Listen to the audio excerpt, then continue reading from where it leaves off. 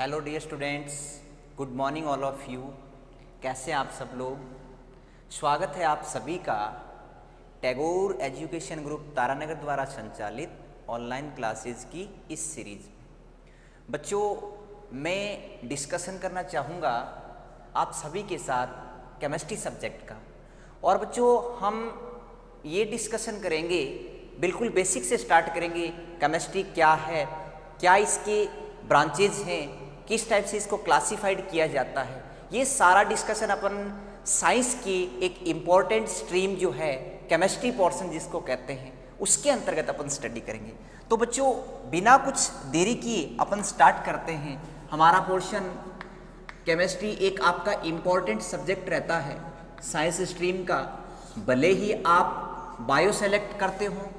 भले ही आप मैथमेटिक्स सेलेक्ट करते हो या फिर आप एग्रीकल्चर सब्जेक्ट सेलेक्ट करते हो तीनों में एक इम्पॉर्टेंट रोल प्ले करता है और वो है हमारा केमिस्ट्री कोर्स ठीक है तो बेसिक से स्टार्ट करते हैं केमिस्ट्री की डेफिनेशन क्या है किस टाइप से इसको डिफाइन किया जाता है अब साइंस की एक ब्रांच है साइंस की बहुत सारी ब्रांच हैं आप फिजिक्स पढ़ोगे आप बायो पढ़ोगे आप केमिस्ट्री पढ़ोगे इसके अलावा और भी बहुत सारी ब्रांच साइंस नाम का जो पेड़ है उसकी बहुत सारी ब्रांच होती है हम पढ़ेंगे केमिस्ट्री तो केमिस्ट्री क्या हुआ साइंस का एक ब्रांच है साइंस का एक पार्ट है तो अपन डिफाइन कैसे करते हैं a branch of science in which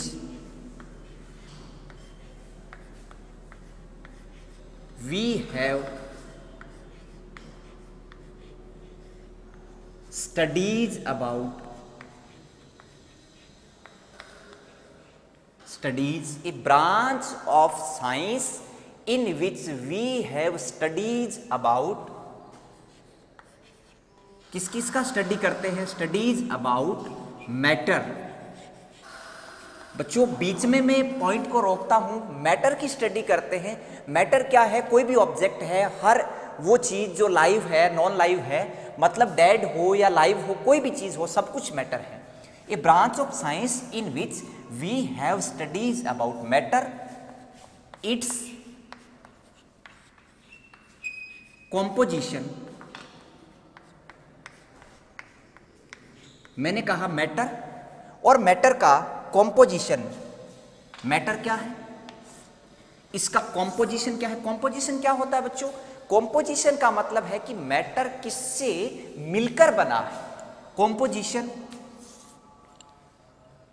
properties अब उसकी प्रॉपर्टीज क्या है एंड ध्यान दो a branch of science in which we have studies about matter its composition properties and internal reactions is known as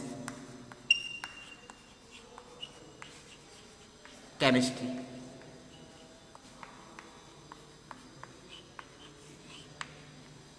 हमने क्या कहा मैटर का कॉम्पोजिशन पढ़ा मैटर के बारे में properties and its internal reaction is known as chemistry ये chemistry की हमने बिल्कुल बेसिक और एक सिंपल सी डेफिनेशन का डिस्कशन किया है अब जैसे एक एग्जाम्पल लिया हमने फॉर एग्जाम्पल मेरे पास एक सब्सटेंस है एक ऑब्जेक्ट है मेरे पास एक मैटर है H2O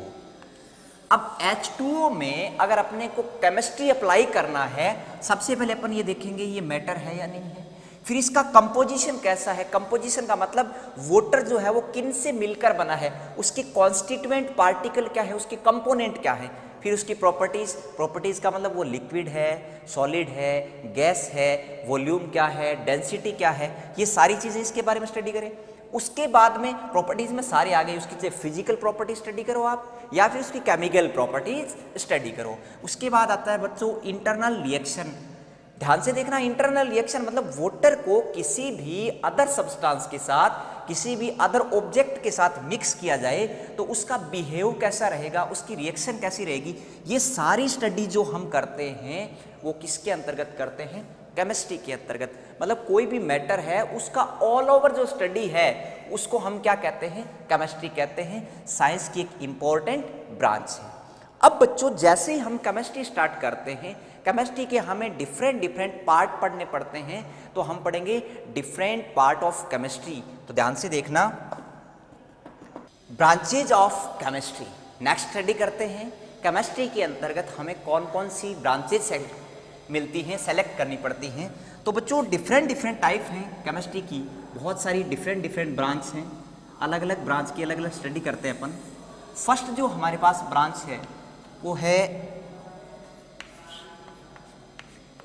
इनऑर्गेनिक केमिस्ट्री क्या है बच्चों इनऑर्गेनिक केमिस्ट्री ठीक है सेकंड है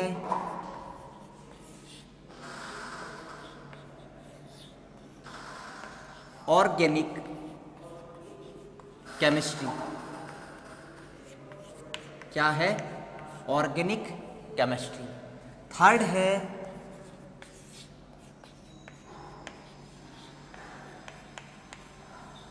फिजिकल केमिस्ट्री ये तीन तो हमारे मेन ब्रांच हैं इनऑर्गेनिक ऑर्गेनिक एंड फिजिकल इसके अलावा भी कुछ सब ब्रांच हैं आपको केमिस्ट्री में बहुत सारी ब्रांच मिलेंगी मेनली अपन तीन इन्हीं के अंतर्गत स्टडी कर लेते हैं केमिस्ट्री की फोर्थ जो ब्रांच है वो आता है बच्चों एनालिटिकल केमिस्ट्री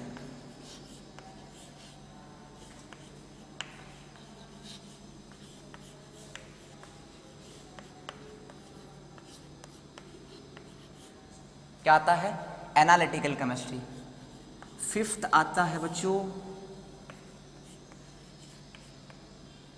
बायोकेमिस्ट्री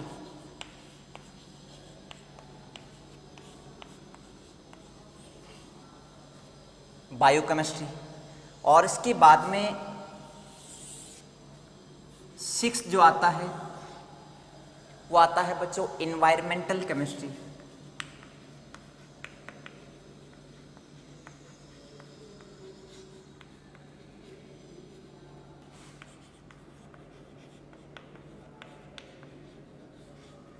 उसके बाद सेवंथ जो आता है न्यूक्लियर केमिस्ट्री न्यूक्लियस के बारे में स्टडी करते हैं न्यूक्लियर केमिस्ट्री इसके अलावा भी और बहुत सारी ब्रांच केमिस्ट्री की डिफाइन की जाती हैं इनऑर्गेनिक है ऑर्गेनिक है फिजिकल है एनालिटिकल है बायोकेमिस्ट्री है इन्वायरमेंटल केमिस्ट्री है न्यूक्लियर केमिस्ट्री है इन सारी ब्रांचेज का इसके अलावा बहुत सारी ब्रांचेज अपन पढ़ते हैं इन सारी ब्रांचेज का अपने अपने फील्ड में कोई ना कोई इम्पोर्टेंट रोल होता है जैसे अपन बात करें इन्वायरमेंटल केमिस्ट्री की तो इन्वायरमेंट की स्टडी अपन जहाँ करते हैं इन्वायरमेंट की अर्थ की स्टडी जहाँ करते हैं इन्वायरमेंटल केमिस्ट्री न्यूक्लियर केमिस्ट्री जो न्यूक्लियस है और न्यूक्लियस से रिलेटेड जितने भी इवेंट्स हैं उनकी स्टडी अगर अपन करते हैं वो है न्यूक्लियर केमिस्ट्री इसके अलावा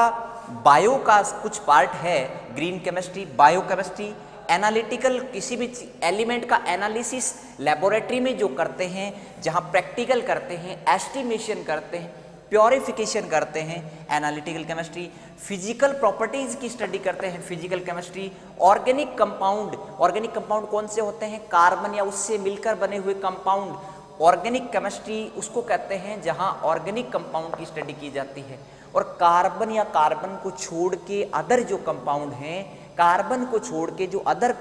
एलिमेंट हैं उनकी स्टडी अपन इनऑर्गेनिक केमिस्ट्री में करते हैं और कार्बन या कार्बन से बने हुए जो अदर सब्सटेंस हैं उनकी स्टडी अपन ऑर्गेनिक केमिस्ट्री में करते हैं तो ये हमारे पास केमिस्ट्री की क्या रहती है बच्चों कुछ डिफरेंट ब्रांचेज रहती हैं inorganic organic physical analytical bio उसके बाद में इन्वायरमेंटल केमिस्ट्री और न्यूक्लियर केमिस्ट्री ये सारी क्या है केमिस्ट्री की ब्रांच हैं तो अपन बारी बारी से इन सारी ब्रांचेज की स्टडी करते हैं inorganic chemistry organic chemistry physical chemistry analytical chemistry start करते हैं सारा सबसे पहले देखते हैं बच्चों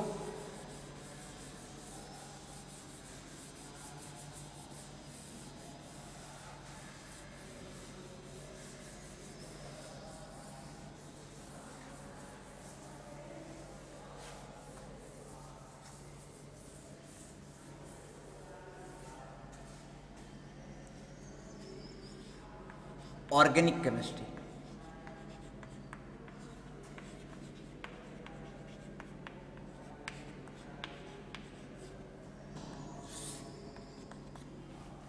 the compound the compound containing carbon way compound जिनमें carbon are known as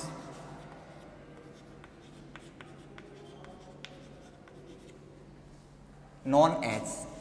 organic compound.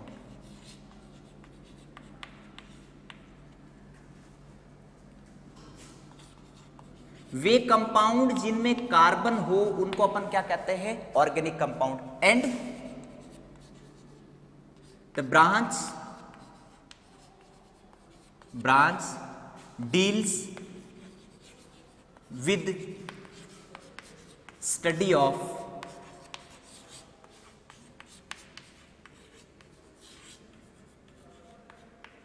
organic compound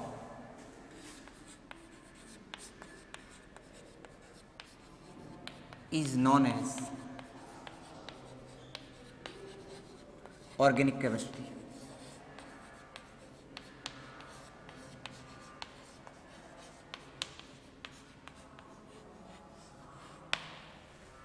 Okay. हमने पढ़ा ऑर्गेनिक केमिस्ट्री क्या है जिसमें ऑर्गेनिक कंपाउंड की स्टडी करते हैं वो किसको डील करती है किसको कनेक्ट करती है हमें ऑर्गेनिक केमिस्ट्री के अंतर्गत क्या पढ़ना है ऑर्गेनिक कंपाउंड की स्टडी करनी है इसको हम क्या कहते हैं बच्चों ऑर्गेनिक केमिस्ट्री कहा जाता है ठीक है यहां तक क्लियर है सबको केमिस्ट्री की एक ऐसी ब्रांच जिसमें कार्बन या ऑर्गेनिक कंपाउंड के अलावा जो कंपाउंड होते हैं उनकी स्टडी करते हैं उसको अपन बोलते हैं इनऑर्गेनिक केमिस्ट्री हम क्या करेंगे studies about studies about compound without without containing carbon carbon या ऑर्गेनिक कंपाउंड के अलावा जो कंपाउंड हैं उनकी अगर अपन स्टडी करते हैं इसको क्या बोलते हैं बच्चों कौन सी केमिस्ट्री कहा जाता है इनऑर्गेनिक केमिस्ट्री कहते हैं ओके प्रॉब्लम यहाँ तक ये बेटा बिल्कुल बेसिक चल रहा है बेसिक स्टडी है जहाँ से हम क्लास इलेवेंथ के साथ केमिस्ट्री के साथ कनेक्ट होते हैं ऐड होते हैं बिल्कुल हमारा बेस है जिसके बाद हमें केमिस्ट्री की हैबिट लगना स्टार्ट होती है ये हमारा बिल्कुल बेसिक पार्ट है बेसिक जब तक आप क्लियर नहीं होता साइंस में ये एक बहुत इम्पॉर्टेंट रोल प्ले करता है बेसिक पार्ट जो है बहुत इम्पोर्टेंस रखता है तो हमने पढ़ा इनऑर्गेनिक और ऑर्गेनिक केमिस्ट्री थर्ड बच्चों हमारे पास क्या आता है फिजिकल केमिस्ट्री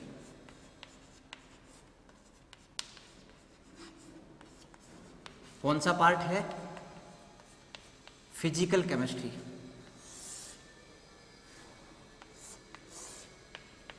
और फिजिकल केमिस्ट्री में क्या है फिजिकल केमिस्ट्री में बच्चों हम पढ़ेंगे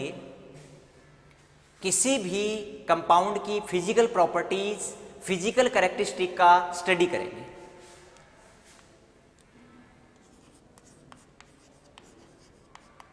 स्टडीज अबाउट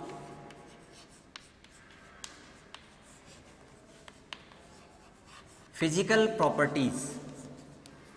जैसे टेम्परेचर है डेंसिटी है स्मेल है कलर है मेल्टिंग पॉइंट है बॉइलिंग पॉइंट है ये सारी जो प्रॉपर्टीज़ हैं ये अपन किसके अंतर्गत पढ़ते हैं फिजिकल प्रॉपर्टी या फिजिकल केमिस्ट्री के अंदर पढ़ते हैं ओके उसके बाद में इसके बहुत सारी सब ब्रांच भी होती हैं जिनको अपन कभी बाद में डिस्कशन करेंगे ऑर्गेनिक और इनऑर्गेनिक और फिजिकल तीन इंपॉर्टेंट पार्ट थे वो हमने आपके साथ डिस्कशन किए उम्मीद करते हैं आप सबको इतना केमिस्ट्री का बेसिक पोर्शन बहुत अच्छी से क्लियर हुआ होगा ओके थैंक यू